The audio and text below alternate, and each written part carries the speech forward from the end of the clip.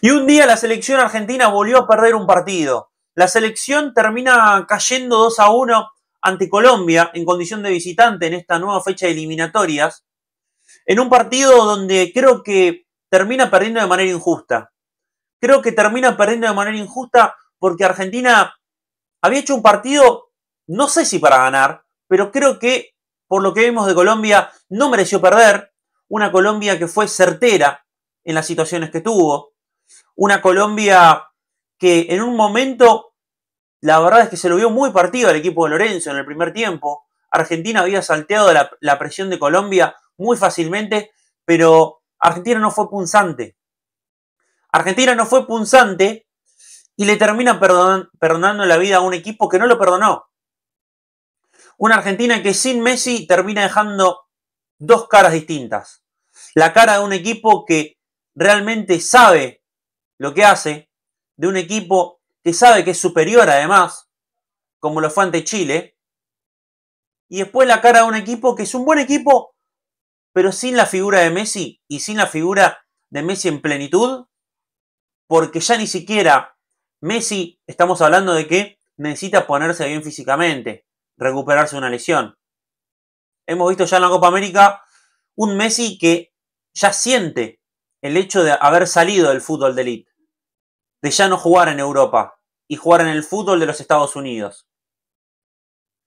Por eso creo que la selección argentina termina perdiendo un partido que no cala hondo, realmente no creo que le rompa la cabeza, que lo vuelva loco Scaloni, pero sí que es un partido que va a tener que tomar nota, porque demuestra que Argentina es un buen equipo, pero que va a tener que trabajar más, va a tener que ser un poco más trabajador. Si bien yo ya creo que es un equipo trabajador, venía jugando holgado este equipo. Esta selección venía jugando holgada sabiendo que es superior al resto. Y lo demostró en la Copa América, que jugó un mal partido con Ecuador, que termina pasando en los penales, pero después el resto de partidos, hasta la final, fueron muy pocos los momentos donde Argentina se vio en aprietos.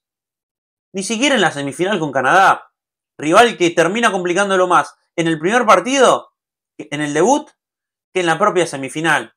Yo creo que de esta manera la selección va a empezar a tomar otro rumbo. Creo que va a tomar otro rumbo en el sentido de que va a tener que aprender a convivir con la derrota.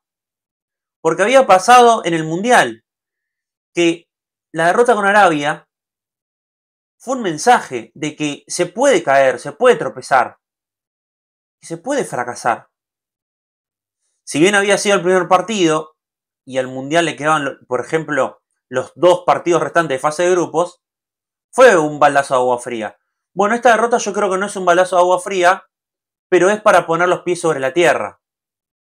Porque además, estamos hablando de que enfrente no era un equipito, Argentina hoy juego contra un, gran, un muy buen equipo, que quizás para mí no jugó un partido al 100% de sus capacidades.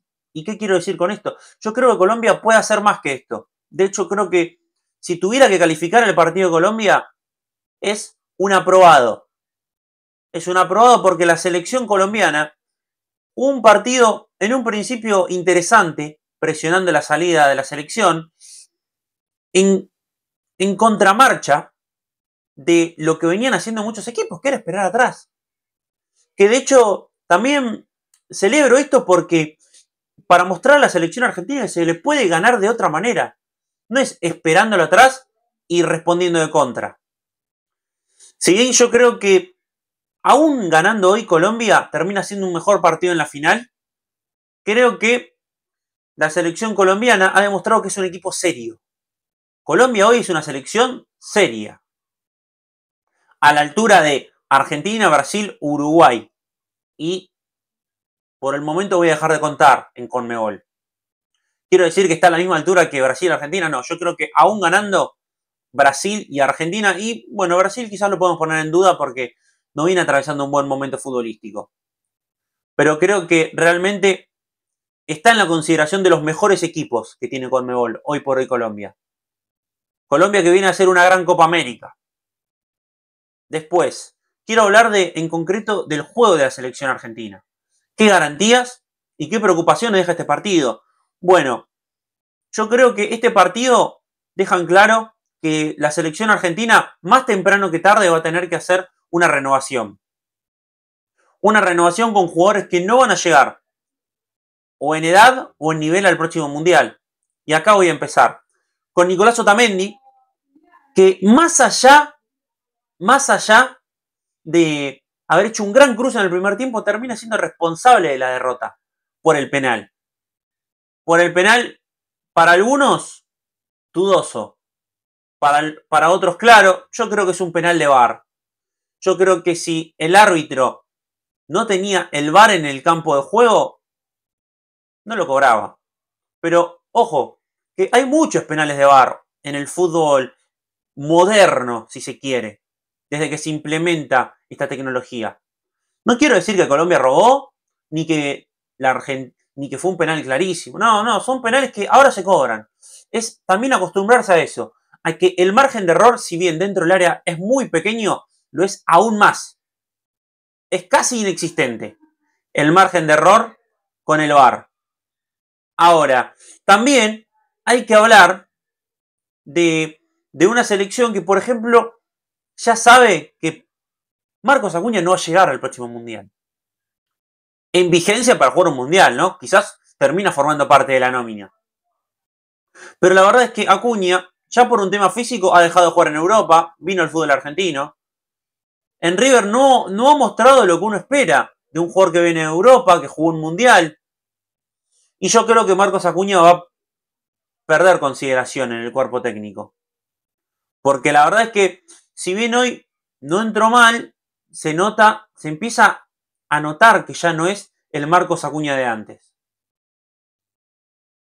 Para empezar por ese lado. Después yo creo que la selección argentina en grandes rasgos es un equipo que tiene un funcionamiento que está muy bien trabajado, que tiene un central muy sólido como el Cuti Romero. Yo creo que hay que acelerar la adaptación de, Lisandro Martínez, no como jugador de selección argentino, porque ya es un jugador de selección argentino dentro de los titulares, pero empezar a aceitar esa dupla. Aceitar esa dupla que seguramente será la dupla central del próximo Mundial 2026. Del Diego Martínez, no mucho más que decir. Creo que podría ser un poco más quisquilloso en el gol, en el primer gol, donde creo que estaba muy encima del primer palo y por eso también no llega ni a tapar la pelota ni a descolgar el centro. Pero después, la verdad es que Argentina tuvo un partido bueno donde no aprovechó las situaciones que tuvo.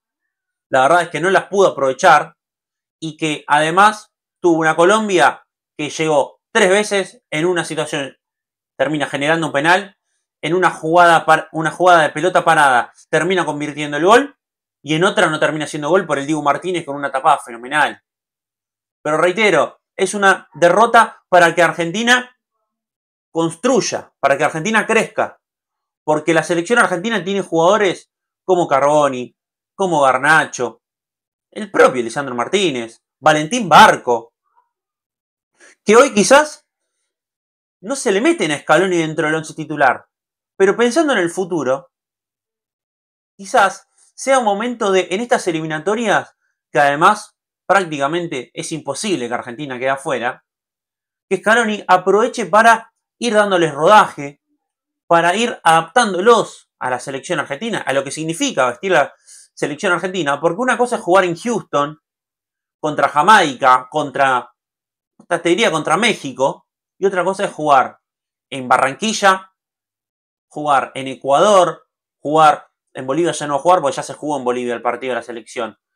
Pero demuestran este tipo de partidos son lo que le van a dar la experiencia para que estén formados, para que no los encuentre a un Carboni, a un Garnacho, un partido en el Mundial sin estar maduros con la selección argentina.